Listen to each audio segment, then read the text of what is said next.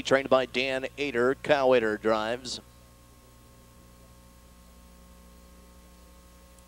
Next is a two ER Golden Beach, owned by Bradley Nielsen of Pataskala, Ohio, trained and driven by Bob Harper.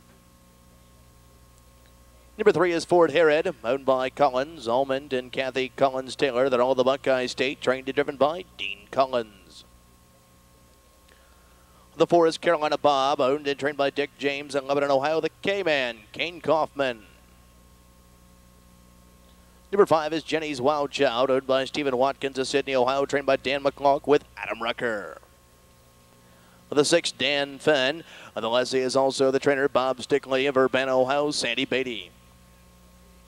Number seven is TNT Hanover, owned by Beverly Bushelman of Franklin, Ohio, trained and driven by Daryl Collins. The eight, the Big Wazzoo, owned and trained by John Nelson, Perrin, Lebanon, Ohio, J.D. Perrin, the reinsman.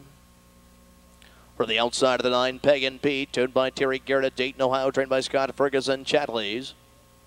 And for the second tier, number 10, King Aura, owned and trained by Roy Murphy of Mendon, Ohio, Brett Miller, and the sulky. Well, the Albert starting gate swings into the back stretch, and there they go for the Superfecta finale. Field in motion.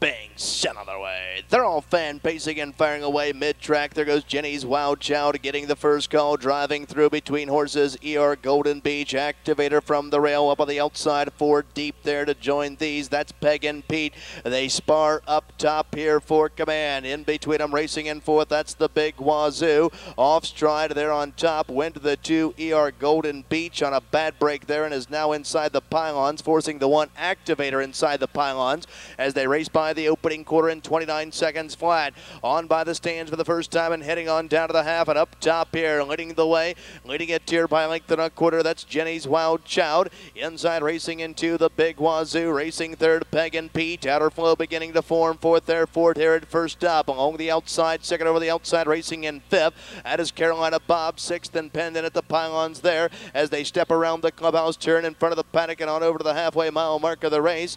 As they reach the half, they're halfway home, 59 and two fifths. Off the turn and driving down the backside. Heads are pointed towards three quarters and on top, Jenny's Wild Child with a lead here. Bearing down to the outside in two. Fort Herod is now joining this leader. Off the pylons, here comes the big Wazzoo racing in third there. Outside in fourth, Carolina Bob. Penned in racing in five, Pagan Pete. Sixth on the inside there. As they step towards the three quarter mile mark of the race, Dan Finn has switched to the outside as they race by three quarters, three quarters and 127 and three fifths. And they'll pace the final turn and head for home and on top of the field, Fort Herod with lead here. Into the outside, racing in second. That's the big Wazzoo at the rail in third. Jenny's Wild Child.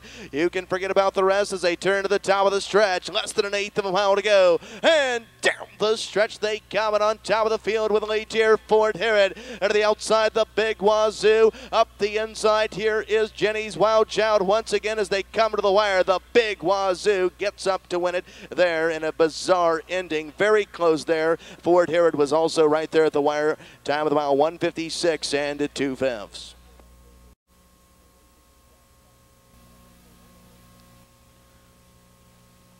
Disqualified and plays down to the top four here, leaving it 8-3-5-4, 8-3-5-4 official. Stepping trackside of the winner's circle, the official winner of the 12th race, the 8th, of Big Wazzoo. A four-year-old bay guarding by Doctor of Style out of a Towner's Big Guy Mare, Spicy Sabra, owned and trained by John Nelson, Perrin 11 in Ohio, posting the fourth win in 2004.